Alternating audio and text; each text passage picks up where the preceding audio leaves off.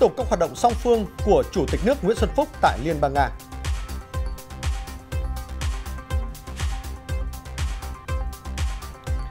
Tiêm vaccine cho trẻ an toàn đặt lên hàng đầu.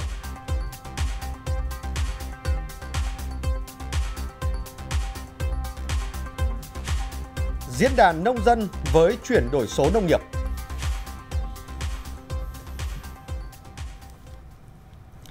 Thưa quý vị, trong khuôn khổ chuyến thăm chính thức Liên bang Nga, chiều ngày 1 tháng 12 theo giờ địa phương, tại thủ đô Moscow,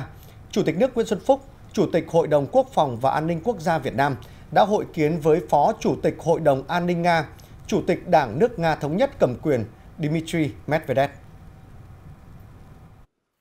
Chủ tịch nước Nguyễn Xuân Phúc bày tỏ vui mừng gặp lại đồng chí Medvedev, người bạn thân thiết và gần gũi của nhân dân Việt Nam, chúc mừng Đảng nước Nga thống nhất nhân dịp 20 năm thành lập, mùng 1 tháng 12 năm 2001, mùng 1 tháng 12 năm 2021, đồng thời đánh giá cao vai trò và vị thế của Đảng nước Nga thống nhất ngày càng được tăng cường dưới sự lãnh đạo của đồng chí Medvedev, góp phần quan trọng vào sự phát triển và lớn mạnh của Liên bang Nga. Phó Chủ tịch Hội đồng An ninh Nga, Chủ tịch Đảng nước Nga Thống nhất Medvedev nhiệt liệt chào mừng Chủ tịch nước và phu nhân thăm chính thức Liên bang Nga, đánh giá cao ý nghĩa của chuyến thăm, góp phần mở ra giai đoạn mới phát triển mạnh mẽ, toàn diện hiệu quả lâu dài của quan hệ đối tác chiến lược toàn diện Việt Nam-Nga, khẳng định Hội đồng An ninh Nga tiếp tục ủng hộ và thúc đẩy hợp tác giữa hai nước trên các lĩnh vực. Trao đổi về tình hình hợp tác giữa Việt Nam và Liên bang Nga, hai bên hài lòng nhận thấy quan hệ chính trị giữa hai nước có độ tin cậy rất cao, là cơ sở để tăng cường hợp tác, đạt nhiều kết quả tích cực trong các lĩnh vực chiến lược như quốc phòng, an ninh, năng lượng và dầu khí, nhất trí đẩy mạnh hơn nữa hợp tác Việt-Nga trên tất cả các lĩnh vực, bao gồm hợp tác giữa Bộ Quốc phòng và Bộ Công an Việt Nam với Hội đồng An ninh Nga, góp phần bảo đảm vững chắc độc lập, chủ quyền và toàn vẹn lãnh thổ của mỗi nước, vì hòa bình, hợp tác và phát triển tại khu vực và trên thế giới. Hai nhà lãnh đạo đánh giá cao hợp tác chặt chẽ và tin cậy giữa Đảng Cộng sản Việt Nam và Đảng nước Nga thống nhất, với trao đổi đoàn và tiếp xúc được duy trì thường xuyên trong cả khuôn khổ song phương và đa phương, khẳng định hợp tác giữa hai đảng có vai trò quan trọng đối với quan hệ đối tác chiến lược toàn diện Việt Nam Nga hoan nghênh việc ký kết kế hoạch hợp tác giữa hai đảng cho giai đoạn 2022-2024 trong khuôn khổ chuyến thăm chính thức Liên bang Nga lần này của Chủ tịch nước Nguyễn Xuân Phúc. Chủ tịch nước Nguyễn Xuân Phúc đã chuyển đến đồng chí Medvedev lời thăm hỏi và lời mời thăm Việt Nam của Tổng bí thư Nguyễn Phú Trọng. Sau cuộc gặp, Phó Chủ tịch Hội đồng An ninh, Chủ tịch Đảng nước Nga Thống nhất Medvedev và phu nhân đã chiêu đãi thân mật Chủ tịch nước Nguyễn Xuân Phúc và phu nhân. Cũng trong khuôn khổ chuyến thăm, trước sự chứng kiến của Phó Thủ tướng Việt Nam Lê Văn Thành và Phó Thủ tướng Nga Dmitry Chernysenko, công ty cổ phần tập đoàn TNT đã ký kết biên bản ghi nhớ với Quỹ đầu tư trực tiếp Liên bang Nga và tập đoàn Binofarm về việc chuyển giao công nghệ sản xuất, thiết lập mới một cơ sở sản xuất chu trình đầy đủ vaccine Sputnik V phòng COVID-19 tại Việt Nam.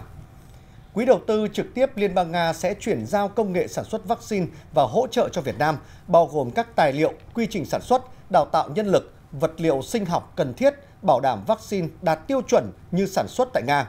Việc ký kết biên bản ghi nhớ này có ý nghĩa quan trọng trong việc hỗ trợ Việt Nam không chỉ chủ động nguồn cung vaccine mà còn nhanh chóng chống lại những biến chủng mới liên tục của virus SARS-CoV-2 đồng thời tăng cường hợp tác và làm sâu sắc hơn nữa quan hệ hai nước trên tất cả các lĩnh vực, trong đó có lĩnh vực y tế và dược phẩm.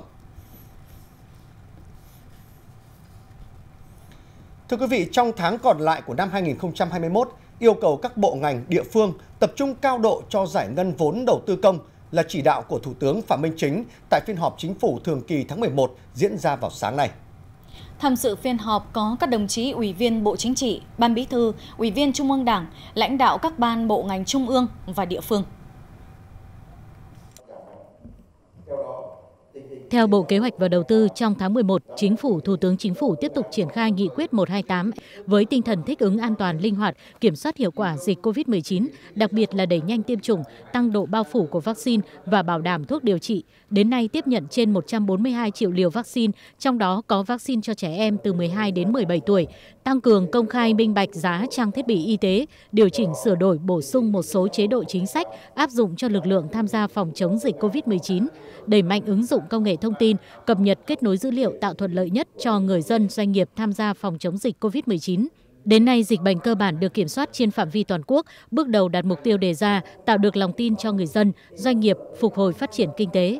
Cùng với kiểm soát dịch bệnh, kinh tế vĩ mô tiếp tục ổn định. CPI tháng 11 tăng 0,32% so với tháng 10, sản xuất công nghiệp tháng 11 khởi sắc, tổng kim ngạch xuất nhập khẩu hàng hóa 11 tháng tăng trên 22%, trong đó xuất khẩu tăng 17,5%, số doanh nghiệp đăng ký thành lập mới tháng 11 tăng 44,6% và tăng 38% về vốn, số doanh nghiệp quay trở lại hoạt động tăng trên 15% so với tháng 10. Vốn đầu tư thực hiện từ nguồn ngân sách nhà nước tháng 11 tăng gần 15% so với tháng 10 năm 2021, đạt gần 74% kế hoạch năm. Tổng vốn FDI đăng ký cấp mới và tăng thêm 11 tháng, tăng 11%. Vốn thực hiện đạt trên 17 tỷ đô la, cho thấy các doanh nghiệp nước ngoài tiếp tục tin tưởng vào môi trường đầu tư của Việt Nam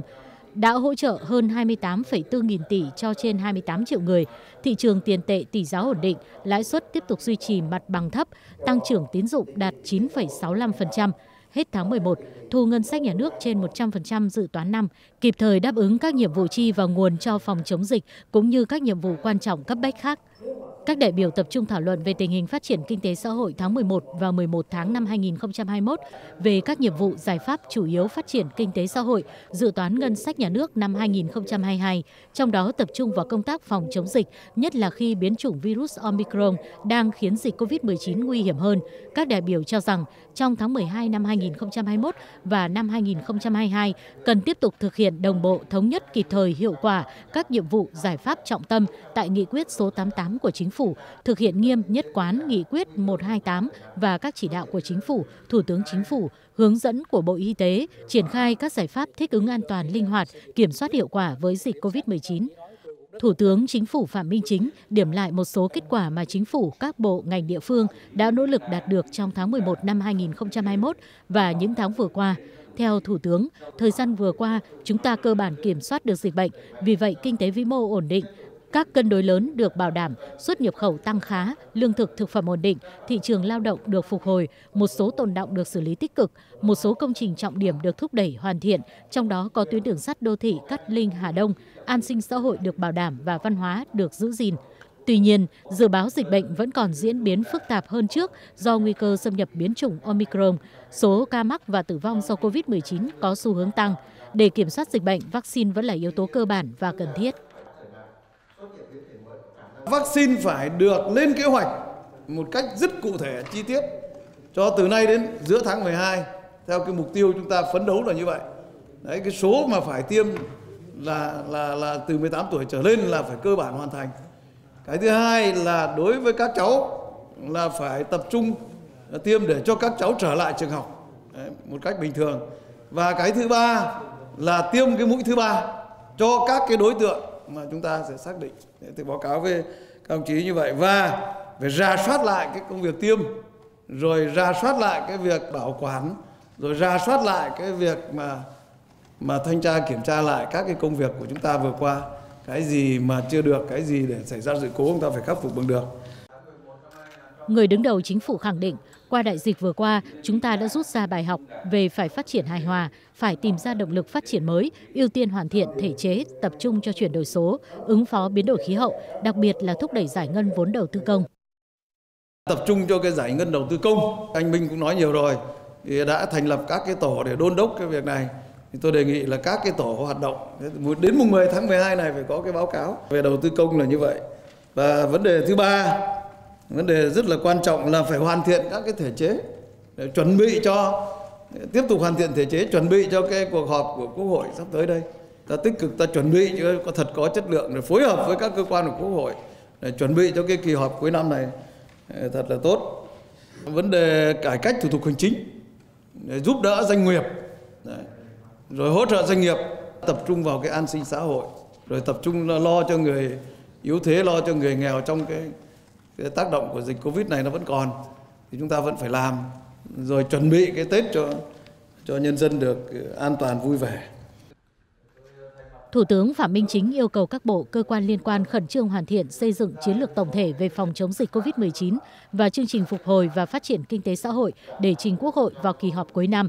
Đối với kế hoạch phát triển kinh tế xã hội năm 2022, Thủ tướng yêu cầu tiếp tục hoàn thiện trên nguyên tắc các mục tiêu phải sát với thực tế, hài hòa giữa phát triển kinh tế với văn hóa, môi trường, hợp lý giữa công nghiệp, nông nghiệp và dịch vụ.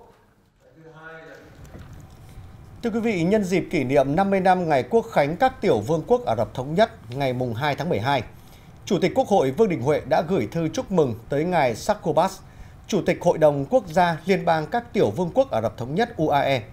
Chủ tịch Quốc hội Vương Đình Huệ vui mừng nhận thấy quan hệ hữu nghị và hợp tác giữa Việt Nam và các tiểu vương quốc Ả Rập Thống Nhất đang phát triển tốt đẹp trong những năm qua, trong đó có quan hệ giữa cơ quan lập pháp hai nước. Chủ tịch Quốc hội Vương Đình Huệ mong muốn thúc đẩy hơn nữa mối quan hệ giữa Việt Nam và các tiểu vương quốc Ả Rập Thống Nhất, giữa Quốc hội Việt Nam và Hội đồng Quốc gia Liên bang UAE và ngày càng đi vào chiều sâu, thiết thực, hiệu quả vì lợi ích của nhân dân hai nước, vì hòa bình, ổn định, hợp tác, phát triển ở khu vực và trên thế giới. Thưa quý vị, hôm nay, đoàn công tác của Ban tuyên giáo Trung ương do đồng chí Nguyễn Trọng Nghĩa, Bí thư Trung ương Đảng, trưởng Ban tuyên giáo Trung ương làm trưởng đoàn, đã đến thăm và làm việc với Ban Thường vụ tỉnh ủy Tiền Giang. Đồng chí Nguyễn Trọng Nghĩa nhấn mạnh dịch COVID-19 đã được khống chế, tỉnh Tiền Giang tập trung khôi phục, phát triển kinh tế. Theo nghị quyết Đại hội đại biểu toàn quốc lần thứ 13 của Đảng, Tiền Giang phải xây dựng kế hoạch thật cụ thể để tập trung lãnh đạo, chỉ đạo, đẩy mạnh ứng dụng công nghệ thông tin. Ngành tuyên giáo cần phải phối hợp với các nhà mạng trong việc nhắn tin thông tin các chủ trương của Đảng, chính sách và pháp luật của nhà nước. Địa phương cần cụ thể hóa các nghị quyết của Đảng để đi vào đời sống đảng viên, nhân dân. Tiếp tục triển khai thực hiện tốt quyết định 238, không để xảy ra điểm nóng, bất ngờ, tăng cường lắng nghe quần chúng, định hướng dư luận trong nhân dân.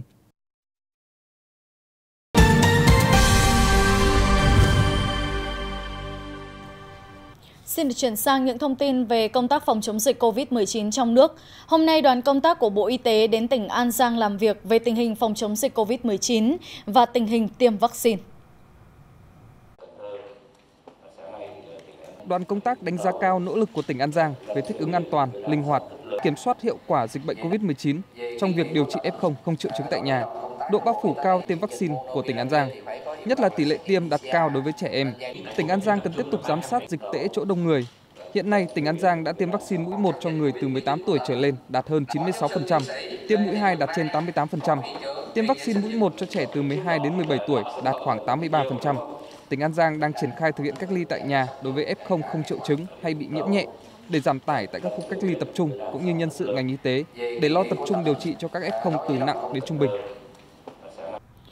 Sáng nay, 50 cán bộ bác sĩ điều dưỡng đang công tác tại các bệnh viện, cơ sở y tế của Hải Phòng đã tình nguyện sung phong lên đường chi viện cho miền Nam chống dịch. Đoàn y tế của thành phố Hải Phòng sẽ trực tiếp tham gia điều trị các bệnh nhân COVID-19 nặng tại các cơ sở y tế của tỉnh Tây Ninh.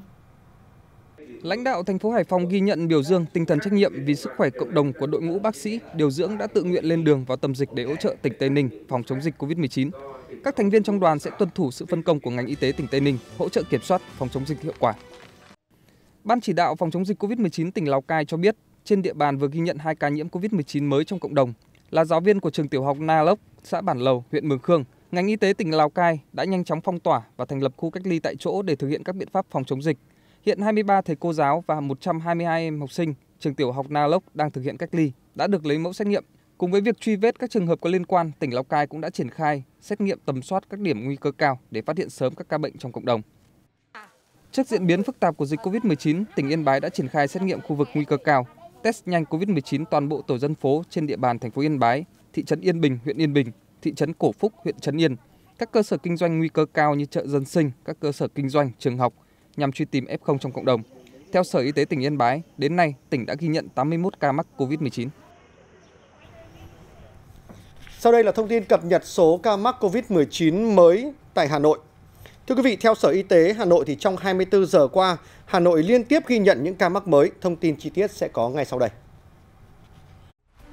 Thành phố Hà Nội ghi nhận thêm 509 ca dương tính mới, trong đó có 233 ca ngoài cộng đồng, 198 ca tại khu cách ly, 78 ca tại khu phong tỏa. Các ca bệnh phân bố tại 191 xã phường, thị trấn thuộc 30 trên 30 quận huyện. Cụ thể, Đống Đa 75 ca, Gia Lâm 45 ca, Ba Đình 41 ca, Thanh Xuân 30 ca, Nam Từ Liêm 25 ca, Hà Đông 23 ca, Hoàn Kiếm 23 ca, Sóc Sơn 20 ca, Thường Tín 19 ca, Trương Mỹ 17 ca, Tây Hồ 17 ca, Hai Bà Trưng 16 ca, Hoài Đức 16 ca, Thanh Oai 16 ca, Bắc Tử Liêm 15 ca, Hoàng Mai 15 ca, Mỹ Đức 15 ca, Đan Phượng 14 ca, Mê Linh 12 ca, Thanh Trì 10 ca, Long Biên 8 ca, Quốc Oai 8 ca, Phú Xuyên 5 ca, Phúc Thọ 5 ca, Ba Vì 4 ca, Cầu Giấy 4 ca, Đông Anh 4 ca, Ứng Hòa 4 ca, Thạch Thất 2 ca và Sơn Tây 1 ca. Như vậy tính từ ngày 27 tháng 4 đến nay, thành phố Hà Nội đã có 11.575 trường hợp dương tính. Thưa quý vị, thời gian qua cùng với Đảng, Chính phủ, rất nhiều những doanh nghiệp, tổ chức, cá nhân đã luôn đồng hành ủng hộ cán bộ, nhân viên y tế, lực lượng tuyến đầu trong công tác điều trị, phòng chống dịch bệnh COVID-19. Và vào sáng nay tại Hà Nội, Bộ Y tế đã tổ chức lễ tiếp nhận vật tư y tế phục vụ công tác phòng chống dịch COVID-19.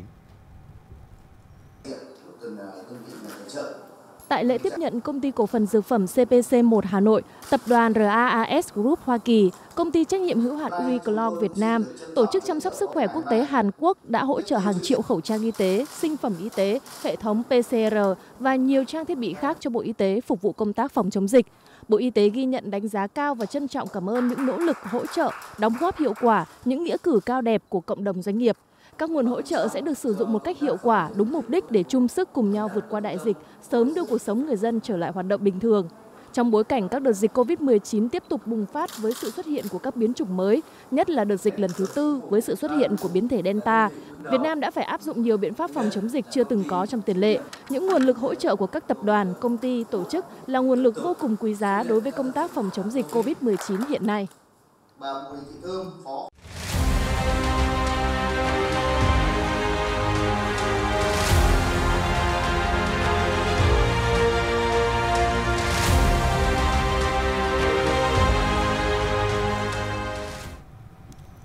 Trước tình hình dịch bệnh đang có dấu hiệu gia tăng, số ca mắc tại thủ đô Hà Nội thậm chí đã vượt ngưỡng 400 ca một ngày, trong đó có hàng trăm ca tại cộng đồng. Đến thời điểm hiện tại thì vaccine được xem là một trong những chìa khóa quan trọng để đẩy lùi và sống chung với dịch bệnh. Nhiều quốc gia đã tiêm phủ cơ bản vaccine COVID-19 cho người trên 18 tuổi và một số nước thì đã và đang thực hiện tiêm cho trẻ em. Ở Việt Nam, các chuyên gia khuyến cáo với việc tiêm vaccine cho trẻ em thì yếu tố an toàn là yếu tố được đặt lên hàng đầu, cẩn trọng và có sự đánh giá. Gia đình có ba con nhỏ, tất cả các cháu đều phải học online do dịch bệnh. Không những vậy, chị Hoa cũng hạn chế việc cho con ra ngoài về tình hình dịch ở thủ đô. Dù vẫn có đôi chút lo lắng nhất định, tuy nhiên theo chị Hoa, tiêm vaccine vẫn cần thiết để bảo vệ các con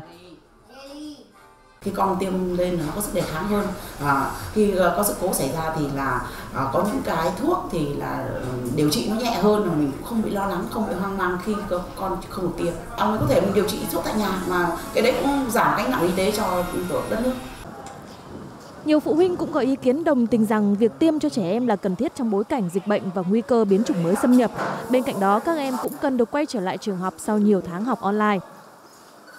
Các con được tiêm vaccine thì sẽ có thể quay trở lại trường học. Tiêm vaccine thì sẽ yên tâm hơn bởi vì nếu mà bị nhiễm ý, thì rất là là lo lắng cho sức khỏe của các con. Trong cái tình hình mà dịch bệnh như này là các con được tiêm thì tôi cũng rất yên tâm. Tiêm xong thì các con cũng sẽ phải theo dõi như thế nào, um, gia đình cũng phải sẽ phải chăm sóc các con như thế nào để an toàn trong sau khi tiêm.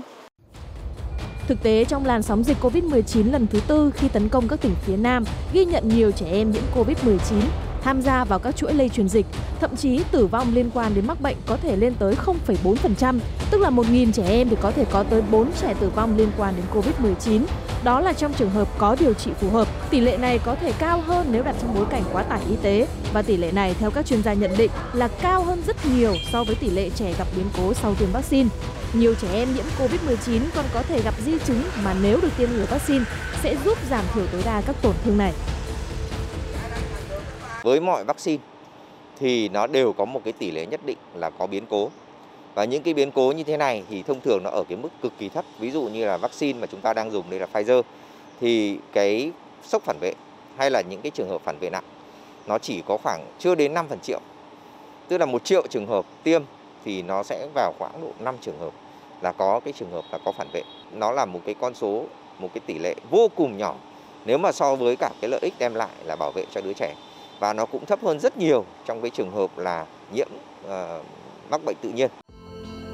Tuy nhiên theo các chuyên gia, vấn đề tiêm an toàn cho trẻ em phải được thực hiện thận trọng, không vội vàng. Quy trình tiêm phải được thực hiện nghiêm túc, theo dõi sau tiêm cần sát sao, phối kết hợp chặt chẽ với gia đình các em để tránh tối đa những sự cố có thể xảy ra. Vai trò của phụ huynh cũng rất quan trọng bởi nhiều trường hợp gặp phản ứng xảy ra sau 30 phút theo dõi tại điểm tiêm và trở về nhà. Trẻ em khi mà bước vào dịch thì họ thì nó cũng tử vong. Đấy là còn chưa nói đến các cái câu chuyện hội chứng Covid kéo dài. Tức là sau khi nhiễm Covid xong thì sau đấy nó sẽ để lại những cái di chứng, ví dụ như là khả năng suy nghĩ giảm, rồi các cái tổn thương về phổi, rồi rất nhiều các cái tổn thương cơ quan khác mà ảnh hưởng lâu dài đến sự phát triển của trẻ thì rõ ràng nếu mà trẻ được dự phòng bằng vaccine thì tất cả những điều đó chúng ta sẽ tránh được theo dõi sức khỏe của trẻ sau tiêm thế và đặc biệt là trong cái 3 ngày sau sau tiêm thì không cho các cháu vận động mạnh này không tập thể dục rồi không chơi thể thao vân vân ấy và khi có những cái dấu hiệu gì mà bất thường về sức khỏe thì cần phải khai báo y tế ngay để có những cái xử trí kịp thời. Với vaccine COVID-19, các dấu hiệu phản vệ của trẻ em cũng tương tự như người lớn. Tuy nhiên các em chưa thể hiểu hết cơ thể mình. Phụ huynh cần đặc biệt lưu ý quan sát con em mình ít nhất 72 tiếng sau tiêm.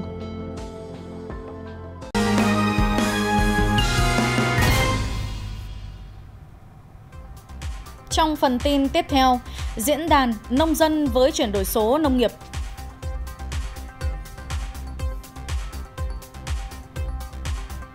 Hà Nội khai trương tuyến xe buýt điện.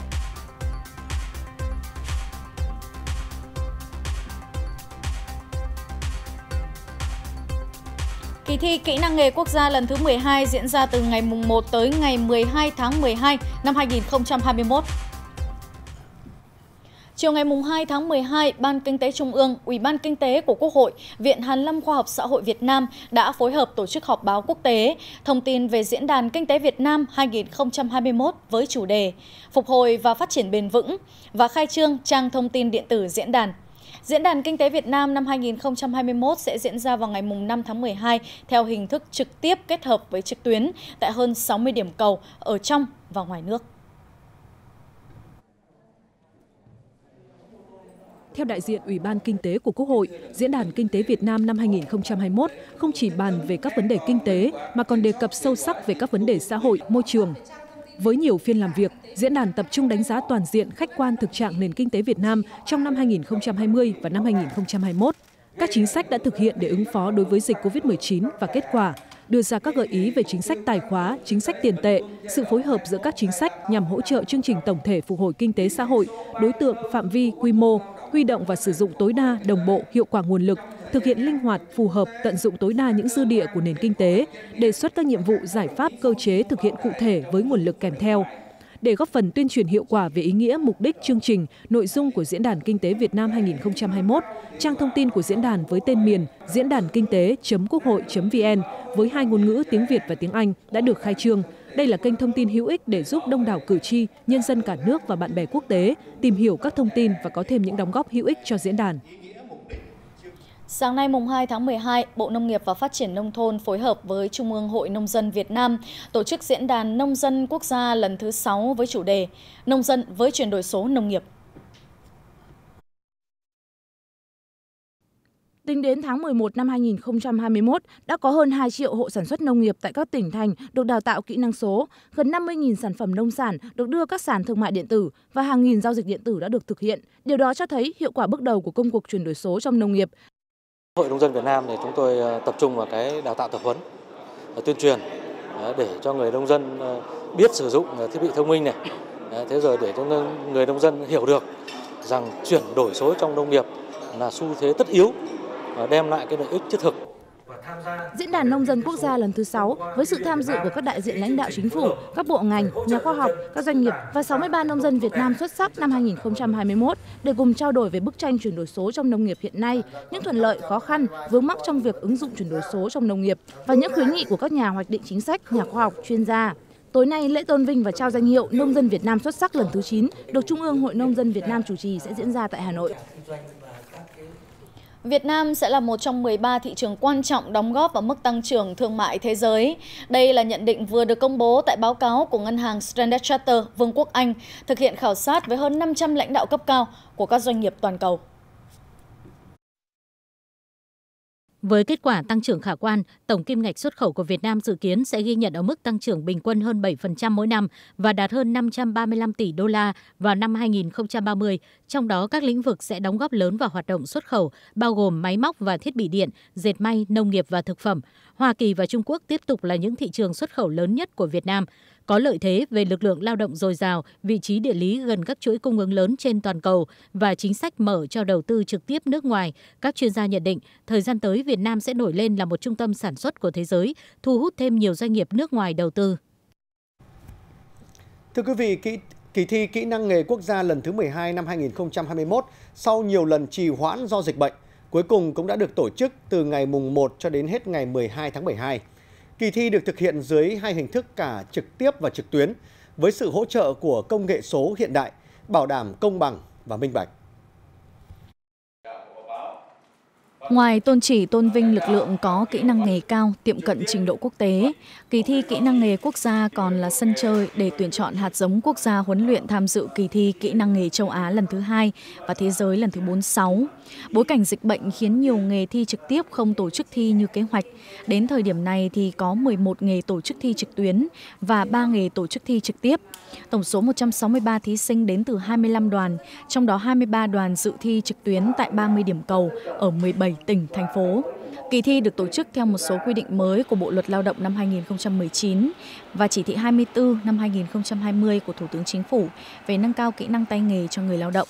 Vì thế, cuộc thi năm nay lần đầu tiên có sự tham gia của doanh nghiệp, hiệp hội, tổ chức nghề nghiệp với lứa tuổi được mở rộng từ 15 đến 60 tuổi. Cơ hội cho người lao động từ học viên tại các trường nghề đến những người lao động tại các doanh nghiệp, cơ sở sản xuất là đều như nhau. Để bảo đảm cuộc thi diễn ra thuận lợi, an toàn, minh bạch, kỳ thi đã ứng dụng triệt đề công nghệ số trong tổ chức, đánh giá, giám sát và chấm điểm. Thưa quý vị, hôm nay tại Hà Nội, tuyến xe buýt điện đầu tiên tại Việt Nam kết nối với hệ thống vận tải hành khách công cộng đã chính thức đi vào hoạt động. Đây là dấu mốc quan trọng thể hiện sự quyết tâm của thành phố Hà Nội trong việc giảm phát thải khí nhà kính trong giao thông, mang đến trải nghiệm xanh, tiện nghi cho người dân. Và sau đây là ghi nhận của phóng viên truyền hình Nhân dân. Thưa quý vị, tôi đang có mặt trên chiếc xe buýt điện thông minh và hiện đại nhất của Việt Nam. Ừ, việc sử dụng xe buýt điện khi tham gia giao thông có thể làm giảm ô nhiễm môi trường do khí thải. Và như các bạn có thể thấy thì trên xe được trang bị khá là đầy đủ các thiết bị thông minh để người dân có thể dễ dàng sử dụng. Ba tuyến buýt điện đầu tiên là tuyến E03 khu đô thị Ocean Park Hàm Nghi, tuyến E05 Long Biên khu đô thị Smart City và tuyến E01 bến xe Mỹ Đình khu đô thị Ocean Park. Xe được thiết kế với sức chuyên chở 68 chỗ, trong đó 26 ghế ngồi, còn lại là vị trí đứng và khu thiết kế riêng cho người khuyết tật, thai phụ. Tần suất hoạt động của các tuyến từ 15 đến 20 phút một chuyến, hoạt động xuyên suốt từ 5 giờ sáng đến 21 giờ đêm hàng ngày. Các tuyến của Vinbus đều nằm trong hệ thống giao thông công cộng chung của thành phố, kết nối khu vực đông dân cư và các điểm thu hút như trường học, bến xe, khu đô thị, khu vui chơi giải trí và điểm trung chuyển xe buýt lớn cũng như tuyến đường sắt đô thị 2A. Xe sử dụng năng lượng sạch, không phát khí thải, không gây ô nhiễm tiếng ồn, đặc biệt xe hội tụ nhiều công nghệ hiện đại, tính năng vượt trội và độ an toàn cao. Giá vé như các tuyến buýt truyền thống đã được áp dụng trên địa bàn thành phố với mức 7 đến 9.000 đồng một lượt. Giá vé tháng đi một tuyến là 100.000 đồng một vé một tháng. Giá vé tháng đi liên tuyến là 200.000 đồng một vé một tháng. Người già trên 60 tuổi, trẻ em dưới 6 tuổi sẽ được miễn phí sử dụng. Dự kiến năm 2022, Vingroup sẽ tiếp tục mở thêm các tuyến xe buýt điện để kết nối với hệ thống vận tải hành khách công cộng chung của Hà Nội để phục vụ người dân. Thưa quý vị, chưa có năm nào người dân tỉnh Phú Yên lại phải hứng chịu nước lũ từ thượng nguồn dồn dập đổ về vùng ven và hạ lưu sông Ba, gây ngập lụt như năm nay. Mặc dù nước từ hai hồ thủy điện sông Ba Hạ và sông Hinh, bậc cuối của dòng sông Ba lúc cao điểm xả lũ là hơn 9.000 mét khối một giây, thấp hơn năm 2009 khoảng 4.000 mét khối một giây, nhưng đã gây ngập lụt trên diện rộng. Nhiều người dân cho rằng nước lũ lên nhanh một phần do thủy điện xả lũ thế nhưng không thông báo và khiến cho họ bị động, không kịp trở tay. Tối ngày 29 đến 7 giờ sáng ngày 30 tháng 11, hai nhà máy thủy điện sông Ba Hạ và thủy điện sông Hình đã xả lũ tổng lưu lượng tăng dần từ 5.000 m khối một giây lên 11.000 m khối một giây. Chưa đầy 2 giờ sau, nước đã phủ trắng 5 trên 8 thôn của xã Sơn Giang, huyện Sông Hình, khiến người dân bị động không kịp trở tay. Đây chỉ là những khu dân cư trong hàng trăm khu dân cư của tỉnh Phú Yên chịu ảnh hưởng nặng nề trong đợt mưa lũ này. Một tiếng hồ, trong một tiếng hồ là cũng như là nó ngập trong nhà, nói chung là từ về sôi là nó chạy ra trong nhà luôn. Trở tay không kịp. Ừ, nó chạy trong nhà luôn chứ còn là làm người dân lại nói chung là là vừa xem là người dân chạy đi liền chứ còn không cách nào mà nó chuyển đồ đi được hết á. Chiều tối ngày 30 tháng 11, hơn 400 ngôi nhà với 1.600 khẩu của xã Sơn Giang, huyện Sông Hình bị chìm trong nước lũ. Nhiều người mắc kẹt vì nước lên quá nhanh. Phải đến gần 24 giờ cùng ngày, lực lượng cứu hộ mới tiếp cận được hiện trường, di rời người dân đến nơi an toàn. Thiệt hại của bà con dân là hầu hết là ờ, là cái ờ, thức ăn gia súc cũng như là là là cho người và trâu bò, à, đặc biệt là rơm rạ và cái ờ, lương thực thực phẩm bà con dự trữ thì do cái lượng nước nó quá lớn cho nên là bà con không chủ động được cho nên hiện giờ là ướt hết nên cái này là đánh giá là sau cái cái thiệt hại sau cái mưa lũ này thì thiệt hại cho bà con dân là cũng rất là nặng nề. Theo ban chỉ huy phòng chống thiên tai và tìm kiếm cứu nạn tỉnh Phú Yên, mưa lớn nhiều ngày, các thủy điện bậc trên dòng sông Ba ồ ạt xả lũ làm lượng nước đổ về các thủy điện bậc dưới quá lớn nên buộc phải liên tục xả lũ. Trong khi đó, nước thủy triều dâng cao làm lũ ùn ứ, rút quá chậm, khiến 17.800 nhà dân phải chịu cảnh ngập lụt nặng trong thời gian dài chưa từng có như hiện nay. Vì vậy, các bộ ngành liên quan cần xem lại quy trình phối hợp vận hành xả lũ liên hồ chứa giữa các hồ thủy điện trên dòng sông Ba nói riêng, các thủy điện trên cả nước nói chung. Và thông tin vừa rồi đã khép lại chương trình thời sự chiều nay của truyền hình nhân dân. Cảm ơn quý vị khán giả đã dành thời gian theo dõi. Thân ái, chào tạm biệt.